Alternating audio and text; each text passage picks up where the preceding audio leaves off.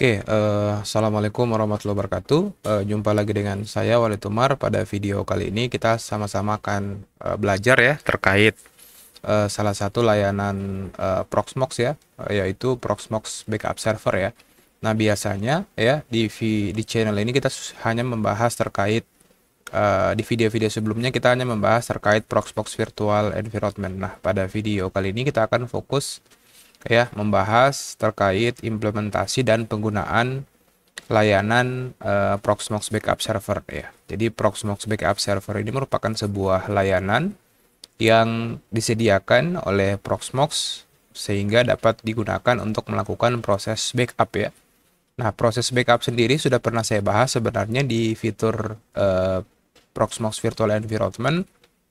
Namun proses backup yang dilakukan itu hanya akan dilakukan pada satu mesin yang sama ya. Sehingga idealnya sebuah server atau sebuah eh, backup server itu harusnya harus berada pada lokasi atau pada node yang berbeda ya. Jadi di sini kita akan coba install ya. Akan kita akan mencoba install. Video ini akan jadi dua bagian. Video yang pertama video penjelasan terkait Proxmox Backup Server dan video yang kedua adalah video implementasinya ya. Jadi di sini kita sudah punya server ya dengan IP address 120.11 ya. Dan di sini kita punya mesin VM Proxmox Virtual Environment di mana di dalam Proxmox Virtual Environment ini kan punya eh, banyak VM ya, punya banyak virtual mesin. Selanjutnya virtual-virtual mesin ini akan coba kita simulasikan untuk melakukan proses backup ya ke Proxmox Backup Server. Dan selanjutnya kita juga akan melakukan demo eh, terkait bagaimana caranya untuk melakukan eh, restore ya dari Proxmox Backup Server ke eh, Proxmox Virtual Environment. Proses eh, backup itu dapat dilakukan secara terjadwal ya ataupun secara eh, triggernya secara manual ya. Nah, kita di sini ya di video sebelumnya kita sudah bahas proses instalasinya. Di sini kita sudah punya Proxmox Backup Server yang menggunakan alamat IP address 192.168.120.11 ya. Dan di sini kita sudah berhasil melakukan proses pembuatan data store ya. Di mana ukuran data store yang kita gunakan adalah 82 GB ya. 82 GB yang sebelumnya sudah kita create melalui menu ZFS ya. File system di sini eh, detailnya adalah sebagai berikut. ZFS ini merupakan salah satu fitur pemartisian ya atau file system pada Linux di mana dapat melakukan proses eh, penggabungan storage ya atau melakukan RAID terhadap storage. Di mana di sini saya punya dua hard disk ya. SDB1 dan SDC1. Nah, kedua disk ini akan dilakukan proses mirroring ya. Jadi 80 GB 80 GB harusnya jadi kapasitas totalnya menjadi 160. Saat ini kita gunakan uh, RAID level mirror ya. Jadi proses proses segala sesuatu atau data yang disimpan di SDB1 itu akan di mirroring ke SDC1. Sehingga ketika ada kegagalan uh, penyimpanan ya atau kegagalan storage di salah satu disk itu tidak akan jadi masalah ya. Selanjutnya fitur-fitur uh, lainnya ya. Di sini ada fitur backup server. Oke. Kita bisa cek show connection information ya. Ini backup IP addressnya 120.11 at backup server ya. Ada fingerprintnya juga. Ya, ini kita bisa lihat ya VM yang berhasil di backup itu ada sudah dua ya berdasarkan video yang sudah kita bahas sebelumnya. Di sini juga kita bisa memantau ya traffic-traffic dari proses backup yang sedang berjalan. Selanjutnya kita bisa memantau konten atau isi dari hasil uh, backupnya ya. Di sini kita punya dua VM ya yang sudah kita backup dari VM yang ini. Oke. Kita bisa cek ya VM filenya. Dan ketika kita ingin melakukan restore kita tidak perlu kita cukup Uh, melakukan proses restore itu dari Proxmox Virtual Environment ya. Jadi proses manajemen seluruh hasil backup itu dapat dilakukan secara remote ya. Tidak perlu kita melakukan proses uh, konfigurasi lagi. Jadi di sini kita sudah menambahkan ya sebelumnya uh, dari menu data center dari menu storage itu kita sudah menambahkan Proxmox backup server dari servernya ya terkait IP addressnya kita sudah masukkan. Selanjutnya kita uh, bisa melakukan langsung melakukan proses restore ya. Kita bisa langsung restore file atau kita bisa uh, show configuration ya untuk melihat uh, data atau informasi yang ditampilkan dari uh, VM tersebut ya. Atau kita bisa remove atau prune ya. oke uh, di sini ada fitur prune juga ada synchronize job ya kita bisa tambahkan. Nah ini akan uh, dilakukan proses uh, sinkronisasi data secara otomatis ya ketika kita punya beberapa uh, Proxmox backup server ya yang berjalan uh, secara bersamaan. Oke. Selanjutnya di sisi Proxmox sendiri ya, kita bisa melakukan backup secara manual ya. Kita bisa langsung backup seperti ini. Kita pilih Proxmox backup server ya.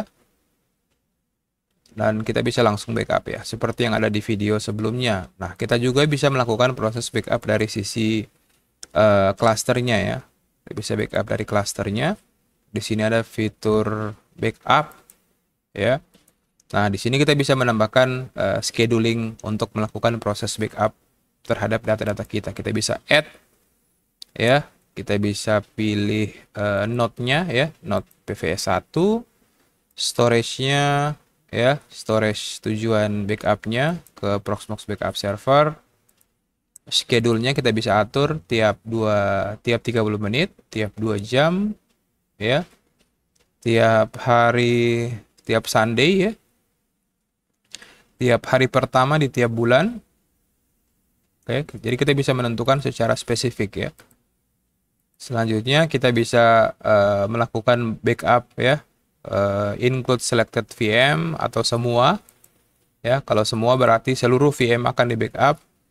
Nah, kita pilih include selected VM. Misalnya VM yang ingin kita backup adalah VM ya 10 11 110 111 misalnya ada 3 VM yang akan kita uh, backup ya selanjutnya kita akan uh, everyday oke okay. Monday to Friday kita akan tentukan first day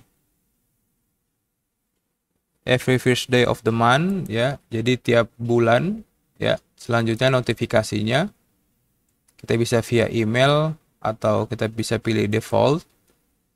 Nah, kita bisa tentukan uh, akan dikirim ke email mana ya. Kita bisa tentukan misalnya email.com. Nah, selanjutnya modenya seperti apa? Ya, apakah mode snapshot atau suspend uh, atau stop ya. Modenya kita bisa pilih stop. Oke, setelah itu kita bisa oke kita bisa langsung create ya. Maka penjadwalan backupnya akan berjalan tiap uh, tiap bulan ya, tiap tanggal, tiap jam 00 di awal bulan. Kita bisa cek uh, job detailnya ya. Nah, kita juga bisa menjalankan uh, proses backupnya sekarang ya dengan mengklik uh, klik uh, penjadwalan yang sudah kita buat. Selanjutnya kita bisa langsung klik run. Start selected backup job now, maka proses backupnya harusnya sedang berjalan ya. Job detail. Oke. Ya, ini sementara melakukan proses backup. Nah, di sisi Proxmox backup server juga kita bisa uh, melihat ya proses backup yang sedang berjalan ya. Kita bisa lihat pada bagian summary atau pada bagian konten ya. Nah ini proses backupnya sedang berjalan untuk VM untuk virtual uh, 110. Oke, ya sedang jalan. Kita bisa memantau traffic dari proses backup yang sedang berjalan ya. Sini ada network trafficnya. Nah ini akan kelihatan bahwa proses backupnya itu sedang uh, dilakukan ya. Oke, jadi ada tiga totalnya ada tiga VM ya yang akan dilakukan proses backup secara otomatis ya. Jadi kita bisa menentukan atau kita bisa menjadwalkan proses backupnya misalnya tiap uh, tiga bulan satu kali ya dua bulan satu kali dan uh, seterusnya ya. Kita bisa reload. Oke VM yang 110 sudah selesai ya totalnya 32 GB dan selanjutnya dia akan lanjut ke VM uh, 11 ya oke VM 111 nah ini proses backupnya sedang berjalan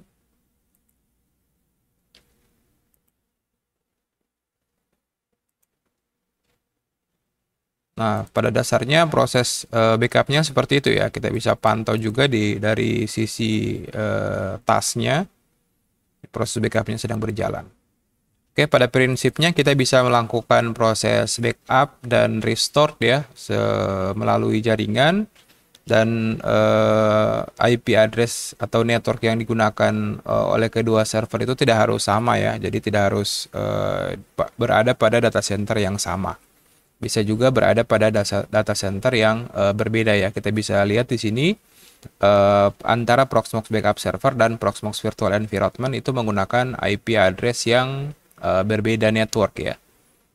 Jadi sekian, semoga video pembahasan ya lanjutan untuk Proxmox Backup Server ini bermanfaat. Mohon maaf atas segala kekurangan. Uh, wassalamualaikum warahmatullahi wabarakatuh.